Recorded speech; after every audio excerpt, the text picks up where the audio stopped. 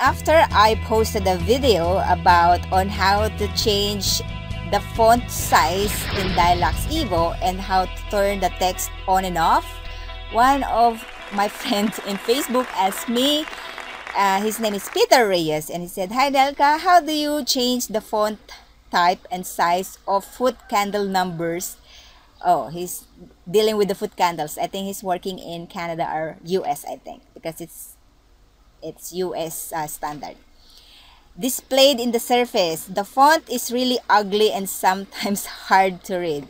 Okay, Peter, it's very easy and this is how you will do it. So I will open again this file and I went to this calculation objects tab and now I have a little calculation object, uh, calculation surface here. By the way, this project is created by my student in uh, online training. So I'll just use this one. So you can see here now that I have isolines and it's really hard to read. And Peter, on how to do that, uh, it's very easy. So just click on this calculation surface. Let's just imagine this is a big calculation surface because my student created a very small one. And then go here. There is one settings here. Settings for measuring grid and also if you want to see the values like value chart here yeah you can see there's a value chart here.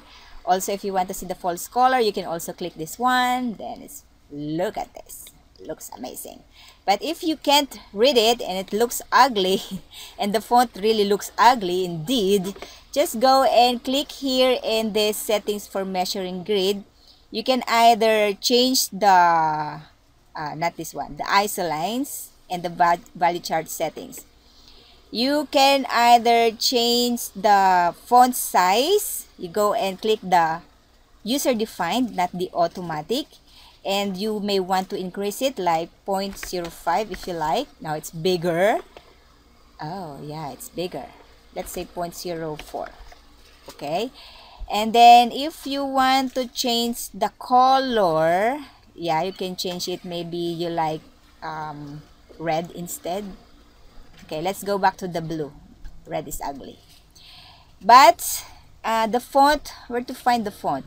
Oh my god, there is no such thing like a font type here. Maybe we can go here. Uh, standard. Yeah, it's just a standard. Nothing is here. How about the measuring? Calculation parameters, positioning, and properties.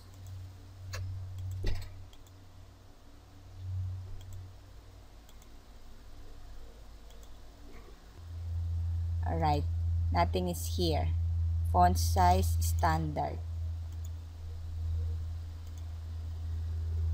Configuring um, preset values start value apply. And only the color and okay Peter the font font style you cannot change it. What you can do only is uh, size of the text and the spacing of the grid. And that's it. Sorry for that. All right so Peter, that's the only thing you can do. You cannot uh, really change the font even if it's really ugly. That's what Dialux, Dialux Evo used.